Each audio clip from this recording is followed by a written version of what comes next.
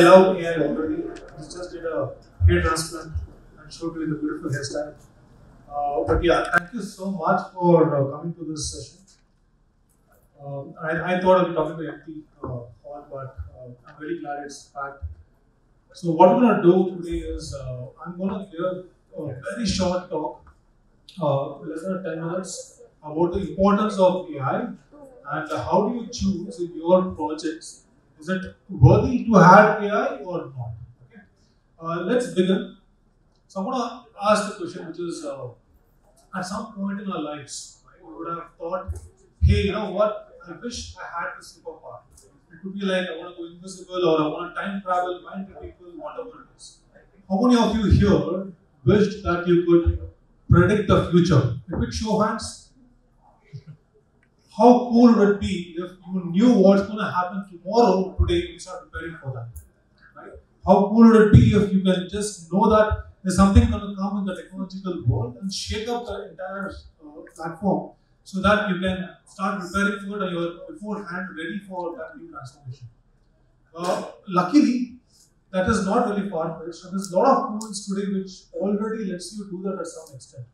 One such tool is called as the Gartner's Hype Cycle, which I'm sure many of you in this audience would have heard about it or already using in your career to a large extent. Uh, this curve is very simple. It is what it does is it has five phases in the line. Right? Depending on where a technology is plotted in this graph, it tells you whether the technology will be going mainstream in the market or will it get obsolete. Right? Uh, this is how the curve looks like. I would like you to just go read about it more later on after this call. It's very interesting, very powerful, and it's directly put into your work.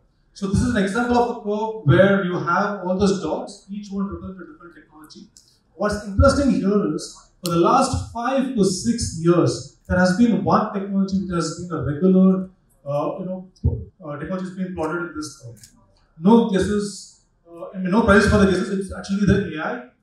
So the idea here is, last year, not once, but twice the AI was mentioned here. Generative AI and causal AI was mentioned twice, which means that that curve has been plotted with a dark blue color, which stands for, I'm sure people in the back can't see it, what the last line says that it's 5 to 10 years, which means AI will go mainstream in the next 5 to 10 years, right? Where most of our audience will have some kind of a direct reach to it.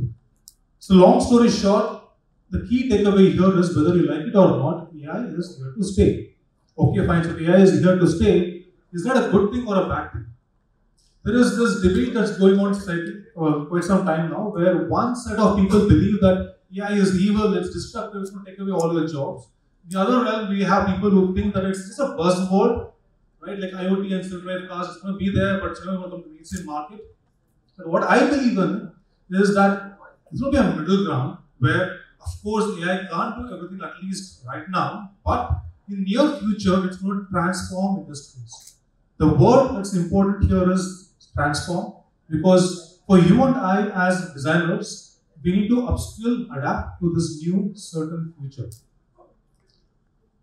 But there's always a catch, right? So just because AI is trending, it's a buzzword, it's going to be the next big thing in the world, doesn't mean that AI is to be put in every goddamn solution. Right? Don't force AI into places where it really does not belong.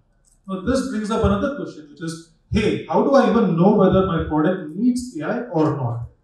We're going to spend the next few minutes understanding this question. All right. For that, let's take a case study. Where the problem statement is, let's take elderly uh, people as a target users, and they have difficulty keeping up with latest news and events because they don't have access to genuine, honest, trustworthy uh, news and articles, because of which they feel isolated and they feel they are misinformed. So if we are designers trying to solve this problem statement, how do we do that? Well, let's say I just do a quick workshop and we spend a couple of hours and we generate some very obvious ideas and we put them into two buckets. One solution with AI and one solution without AI. And let's see how that would look like. The first theme, let me take as personalization. So here, one very obvious thing you could do is uh, you could ask the elderly people for certain uh, chosen areas of interest and you could give news feeds specific to those areas of interest. Right? And a solution without AI does this and a solution with AI, what it can do is probably a step ahead where it can do what's called adaptive personalization. Sorry, there's a bit of a promotion. I wish AI could solve this problem, but some time. Awesome. So with AI, uh, we can do what's called as an adaptive personalization, where even if the user has not chosen the area of interest, it can understand reading habits and give you a possible uh, news article which you might love. Right? Now let's take a second theme, which is localization. Without AI, just to kind of have a better reach and a more immersive experience, you could have this local language support.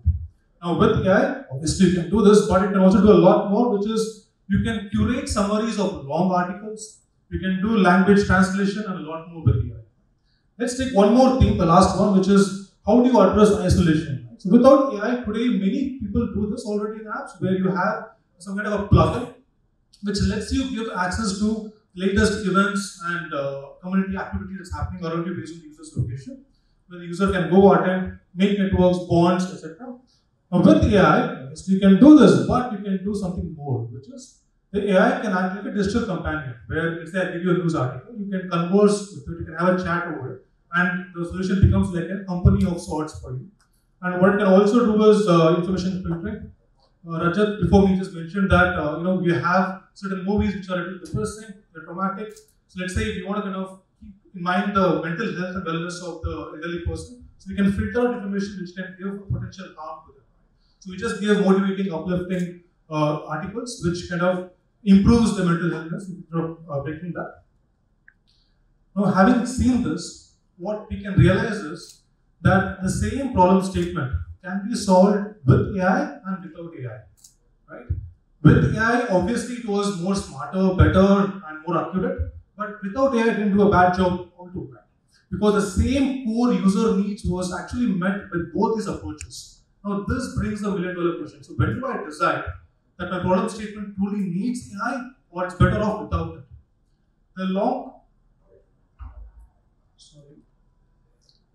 So the key answer to this is it all depends on your project goals. The more elaborate answer would be these three aspects of your project goals is what determines whether your AI solution really is needed or not. First is cost.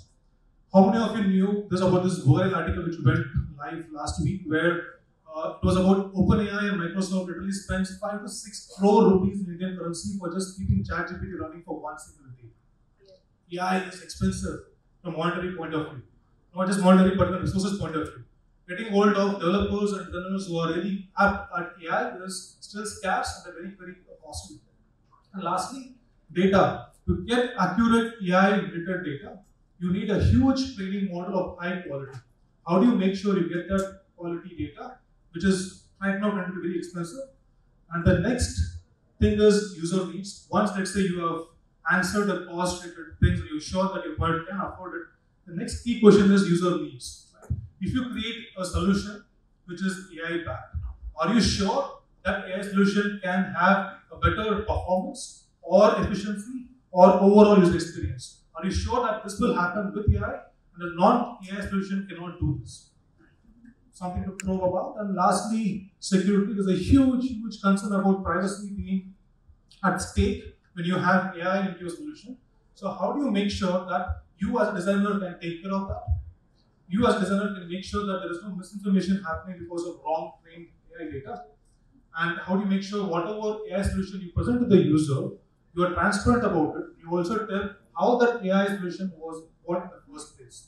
And lastly, bias. How do you make sure that you don't have any kind of cultural or gender bias creeping into your solution? Right. So I'll just give one quick example here. So a few months back, there was this small girl from an African country who went to an AI solution and typed, hey, show me uh, women leaders who have reached top of the ladder in technological field. Unfortunately, the AI result was all women of uh, ladies, right? So that made the small girl believe that you had to be fair-skinned to kind of grow in your career. How destructive can AI be if you don't take care of these uh, concerns, right?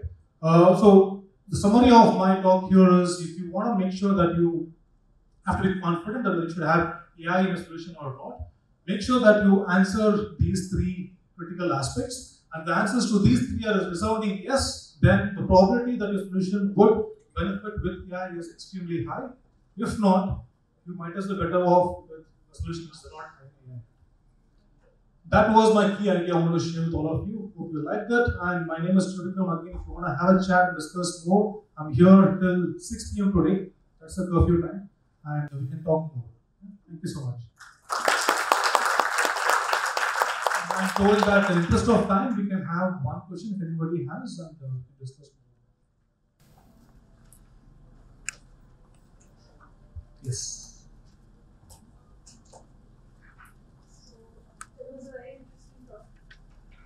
a wonderful yeah. Uh, so one question I had was that you had mentioned that AI is here to stay, and you showed these three parameters on which we should be judging.